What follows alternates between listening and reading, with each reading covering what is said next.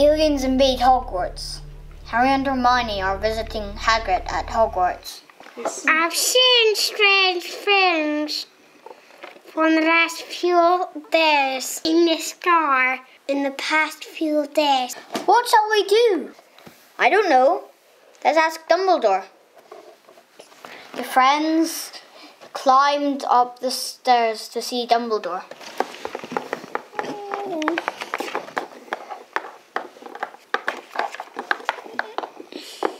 I don't know.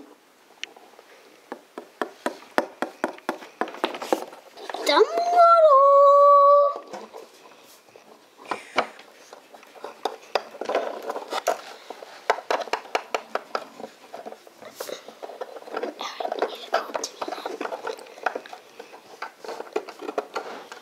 I do not know how this is going to happen.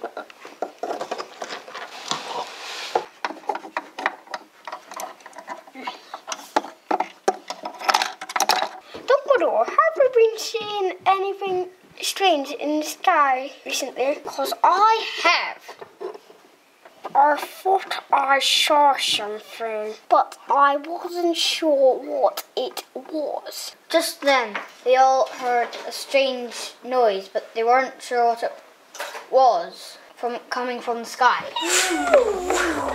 they went out to see what it was. They couldn't believe their eyes. Up above Hogwarts Castle, there were two strange objects in the sky.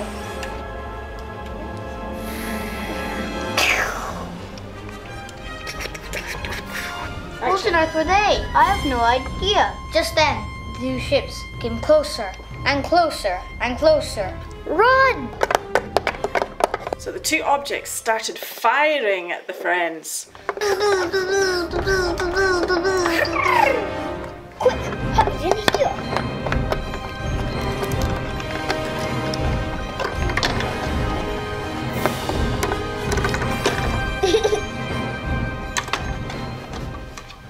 Through the window, they could see that their attackers were green aliens in their spaceships. Could see a muggle trapped inside. Why? We need to rescue that poor muggle. How? Once at the ready. The wizards all said abracadabra together. But they, Abracadabra! but they couldn't stop the aliens. So Harry and Hermione jumped on two brooms that were lying against the ne- bur- nearby wall and flew up to get behind one of the alien ships. Hagrid and Dumbledore jumped into the Flyforth 2000 and followed their friends. Expelliarmus! Wingardio Braviosa! Of Abracadabra. After a long while, the aliens were forced to crash land in the, in the forest. But luckily, the, the Muggle was thrown out.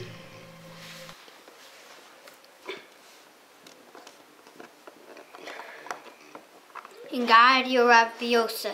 The Muggle forgot everything he had seen. Good job, young wizard.